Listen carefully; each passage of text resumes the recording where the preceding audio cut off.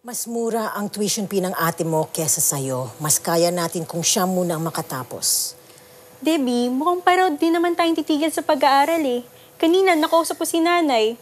Humihina na daw kita ni kuya. Eh mukhang kailangan natin maghanap ng trabaho eh. Pansamantala lang naman ito. Bakit si tatay? Ba't mas maghanap siya ng mas maganda-gandang trabaho? Asa ka pa kay tatay? Ang hina-hina ng kita, puro biso't babae pa. Si kuya. Parang di naman niya tayo iniisip.